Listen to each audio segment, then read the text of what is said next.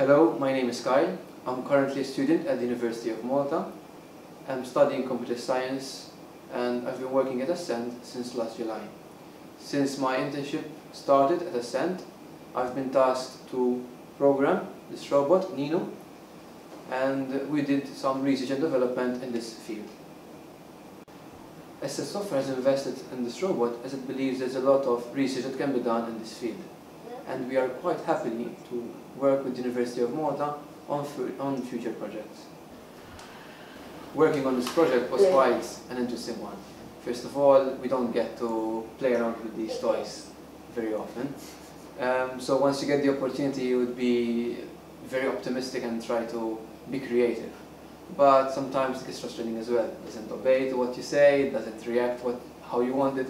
It starts dancing and then it falls off and you've got to try again and uh, see what you did wrong and adjust your code accordingly. So in general it was a pleasant experience and I'm quite keen to do further research on this field. Do you like cats?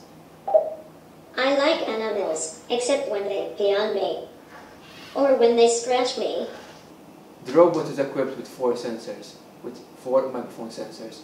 It has one, two, three, four. It uses them to be able to hear what we say, listen to our voice commands, and also look around and know where the voice is coming from. And that's why it looks at you, why it behaves like a hum in a human manner. It also has four sonars, which are used to know if you're close to it. So when you try and touch it, it behaves accordingly.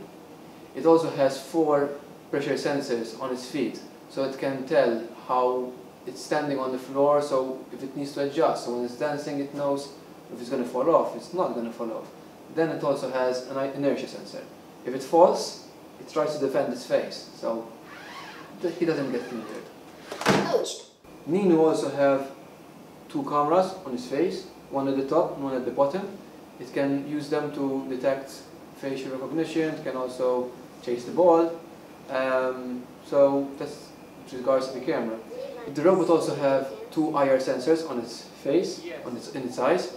It uses them to track the human eyes, so it, when you're looking at it, it actually stares at you, and that's the other human uh, interaction that the robot gives towards people. The robot has 12 joints, which are the shoulders, the arms, the legs, the knees, and the hip.